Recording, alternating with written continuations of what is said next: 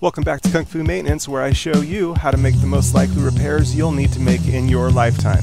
If you'd like to get the latest videos, subscribe and then hit the little bell icon right at the subscribe button, and it'll notify you of, of any new videos when they're released for you. Dishwashers are especially dangerous, being a mix of electricity and water, so don't touch anything unless you know exactly what you're doing. Uh, this is a newer GE. It's got a lot of different uh, different safeties on it. It's got a built-in GFI um, and a couple other things we'll get into here. The dishwasher not draining, and an odd one. It's got an extra piece that goes down into the sump. So,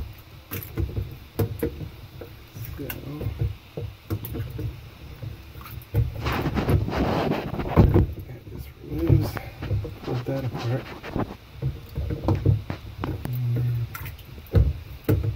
This looks like it should come out. Let's see.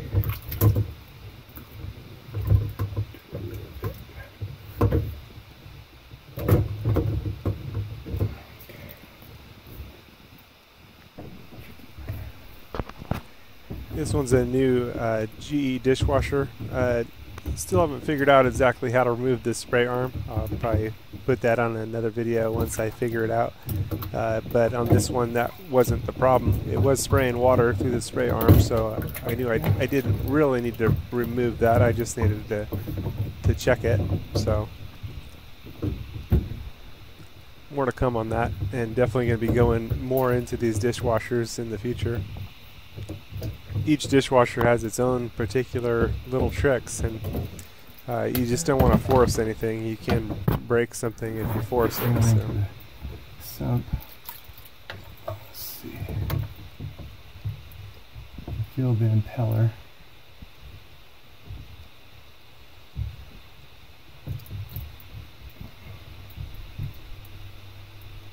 And the pump.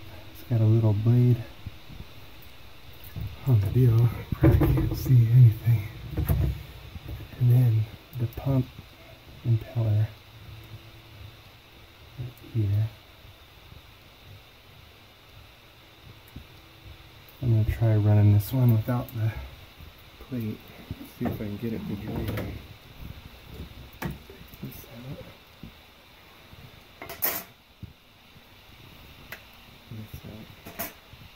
Should be now it's disconnected from the so let's see. The. There goes the drain. Sucker's not draining. And the hose line's clear. I took it apart. I definitely don't like how somebody wired this. I'm going to need to rewire that. That's just horrible. It's supposed to be inside the junction box that the connections are made. Somebody was too lazy to put that the correct way. So I'll have to fix that up, but I need to fix the machine first. Figure it out.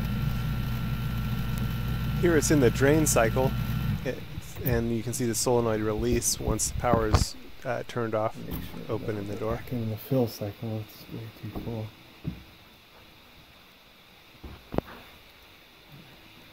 Out the, the pump on this one.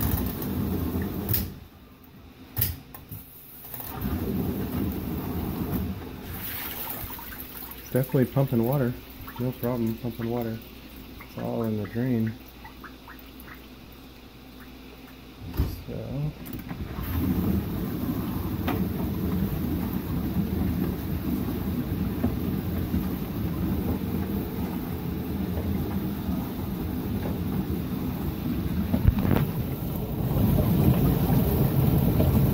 To the drain, the solenoid pulls down.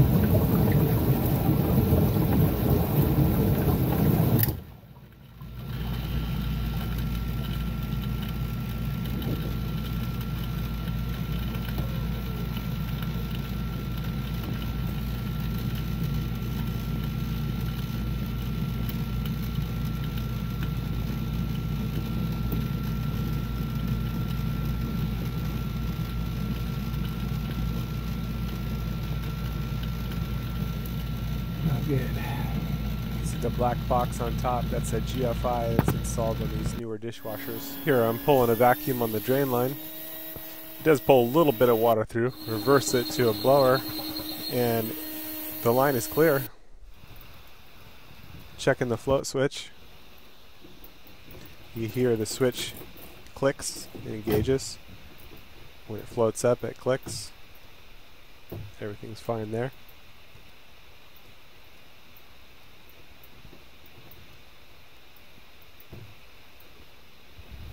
So the question was, what's going on? So I had options at this point. You know, lots of people reach this point. Do you hire someone else to come in to fix it? Uh, my thought is, if you did hire someone else, learn as much as you can. As you can see, it still wouldn't drain here. Uh, you always want to learn whatever you can. But the problems that happen, that you have happen, they're going to repeat themselves. The problems that be are the problems that will continue to be. They'll happen somewhere else. So I was determined to figure this thing out. So uh, looking back here at the drain line, uh, the uh, the pump assembly, trying to figure it out. Um, but this one I need to pull out and take out and look at it better. And uh, one thing I should have done is uh, flip it on its back instead of its side. That would minimize the water that spilled out, a little bit of water, but I was able to clean it up. Not a big deal. Anyway, what I found here is this little ball, looked like a gobstopper. So I went ahead and pulled that out. It, did seem like a part here the solenoid engages and, and uh, opens the channel. That's where the little uh, disposal blade is. It's kind of got a little blade in there that helps uh, grind up stuff or a little, a tiny bit of stuff. And uh, so everything was clear there and passing through. But it was that little ball, the little little uh, deal. I think it's some sort of a check valve, but I think it's kind of an extra deal that passes in on the drain hose assembly that passes into the sump. And uh, so I pulled that ball out, and there was a tiny little ridge on the ball. Uh, so I went ahead and, and tried running it without that ball in there, putting it back together without the ball. And um, that's actually what fixed it and everything worked just fine. Now I think the ball is kind of like a check valve. Uh, so I may eventually, I, I saved the ball, I may eventually go back and and uh, re reset it. Um, still mulling over, um, but I, but I believe that it's like a secondary check valve, kind of like an air gap. It doesn't let stuff come back down into the dishwasher, and I believe that ball is an extra uh, check for that. I already have an air gap, so there's no way that the water can come back down into the machine. So I think it's just an extra, kind of like the GFI is an extra on the machine. So uh, everything worked good once I hooked it back up and then it went to drain and everything's good. But I'm positive that many people have replaced pumps or whole dishwashers for this very issue. Same with the GFI issue. I'm sure that people have, have replaced whole dishwashers when it was just a, tri a trip GFI you know, but also called out service techs and everything else. So anyway, this one put it all back together, ran it through the drain line and proved it out. Everything drains good now. I believe some, somehow that that check valve was pulling up into the wrong area and blocking it off. So I may eventually go back and put it back in there and uh, see if I can get it to work better. It's possible that the that uh, assembly uh, pulled out a little bit, and so let the ball go into a section it's not really supposed to go into. I'll have to research that a bit more, but I thought I'd show you uh, what I found and a little bit on the process of troubleshooting and just kind of go into the, the, the, whole thought process a little bit more. Anyway, thanks for watching Kung Fu Maintenance. Over and out. More to come on this particular uh, dishwasher and particular situation. And this may very well turn out to be a recurring issue with this particular dishwasher, so I was very glad to have figured this out for this model dishwasher, and uh, we'll see how it goes down the road. Links to the parts are in the description below.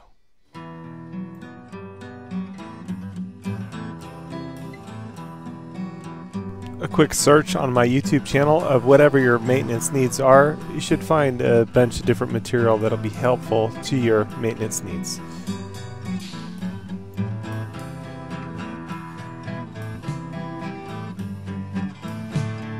A young man stands on the side of the road, good book in his hand. Somehow knows what he reads the truth, but he didn't quite understand. Then one day met a man who showed him the way. He said, Do you see that light? Striped to enter in at the gate.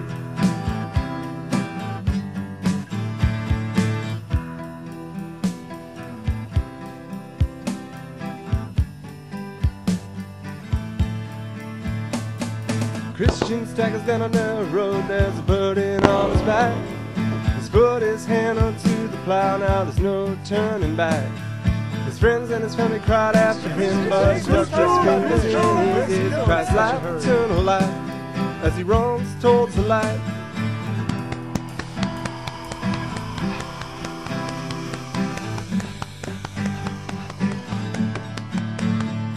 Well, it ain't no this pilgrim's passing through.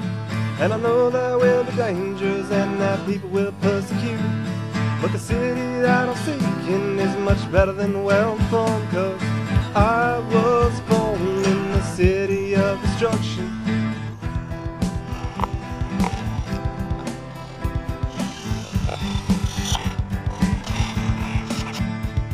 Well, Christian made about a mile to before two men they overtook him. One of their names was Obstinate, the other was Pliable. And they said on the Christian, you just can't get up and leave your friends and family behind. Christian said, I was born in the city of destruction, and if I died there, I fear this burden on my back would sink me to hell. Where did you hear such nonsense? replied Obstinate. I read about it in my Bible, and I know what I read was true. And so I set out on this pilgrimage. I'm just seeking the city of my King. If what this man says is true, the things he stands to gain are better than ours, said Pliable.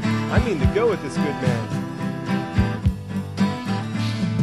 I will not be a part of such misled fantasies, said Obstinate. And he went back to the city of destruction. But Christian and Pliable walked on and on, talking about the way things will be when they get to the kingdom of heaven. And they were so excited to have some good company, they forgot to watch where they were stepping to. They walked into a mire that was called the Slough of Despond. And that burden on Christian's back began to make him sink as he fought and he thrashed for the other side. Pliable turned back to where way it come from. He said, Is this the bliss you spoke of, Christian? We have met such danger just barely setting out on our journey. What can possibly be ahead? And he left Christian there to sink.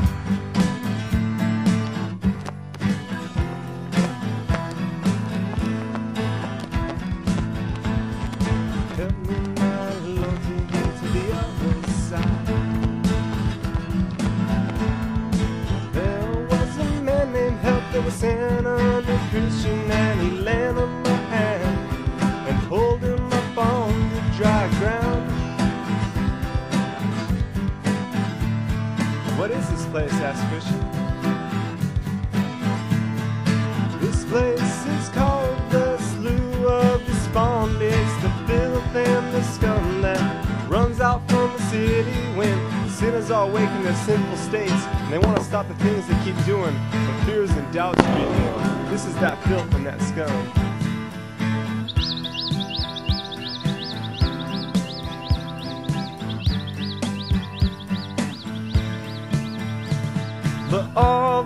steps on which a man might walk through the mile.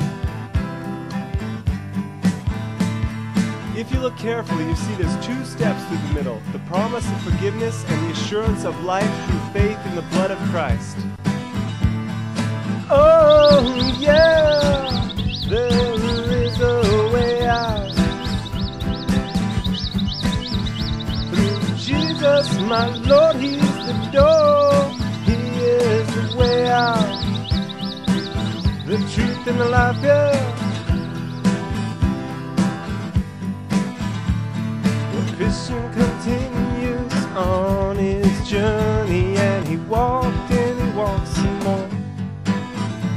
And up ahead in the distance, he saw a man crossing the field over towards the path where he was going. And this man was dressed in really nice clothes.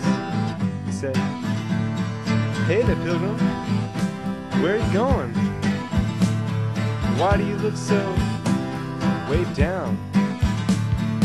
I was born in the city of destruction, and I'm going to the city of my king to get rid of this burden that is on my back. You don't have to go all the way to the city. I know a man that lives just up over that hill there named Legality. He has a son named Civility, and they live in a town called Morality. They can get that burden off your back for you. By the way, how did you get that burden on your back?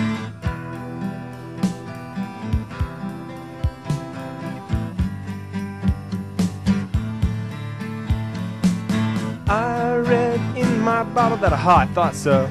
It's happened to other weak men meddling in things too high for themselves. You go to this good man's house, I tell you, he can get that burden off your back for you. Well, Christian pondered man was saying, and the way it did sound easy. How do I get to this good man's house? It's just up over the hill there, second house on the left. The Christian, he was persuaded to walk off the path and he headed up towards that hill. He got there, he saw that it was actually a mountain and it was burning and it was on fire and it looked like it was going to fall on him. And he began to get scared, realizing he had done foolishly walking off the path. This mountain represented the law. An evangelist came up to him and said, Christian, Christian, what have you done? You've begun to forsake the counsel of the Most High God.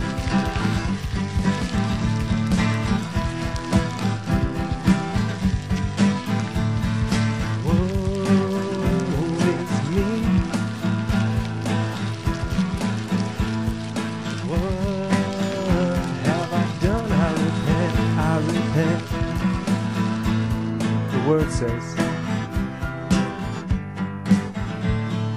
If we confess our sins, He's faithful and just to forgive us of our sins and cleanse us from all unrighteousness. Emmanuel, His name is Worldly Wiseman. Beware of him. He did three things unto you. He made the cross seem unimportant. He turned your feet from the path of life, and He put you on the path that leads to death.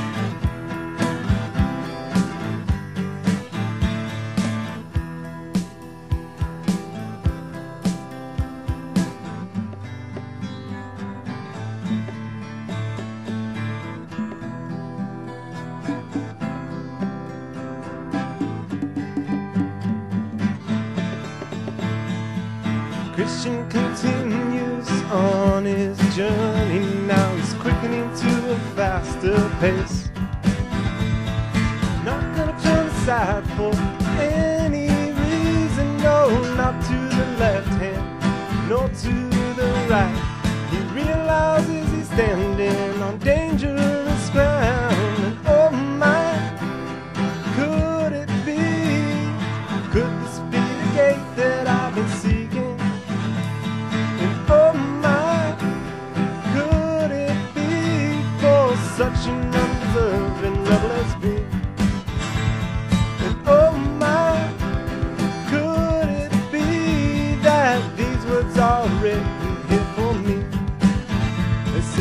knocking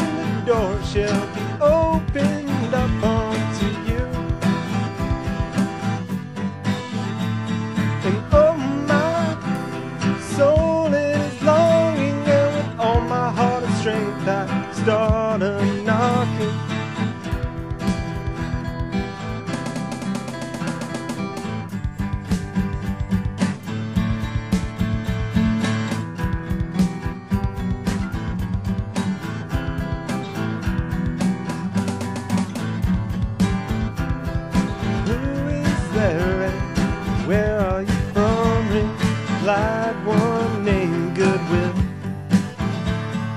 I am just a poor burdened sinner. I am from the city of destruction, but I'm going to Mount Zion that I may be delivered from the wrath to come. And I've heard this is the gate by which I must